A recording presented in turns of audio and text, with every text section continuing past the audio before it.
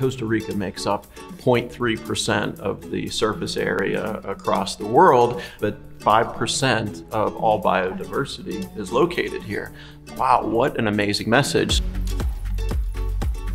Also, the fact that the facility is able to reuse so much of its water.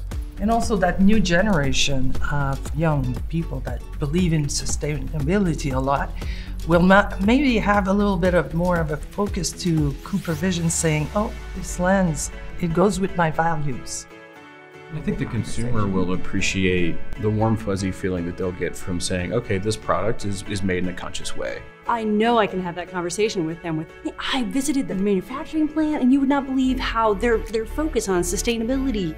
After being here and seeing the plant and, uh, and the focus on sustainability, I'm much better prepared to have the conversation going forward.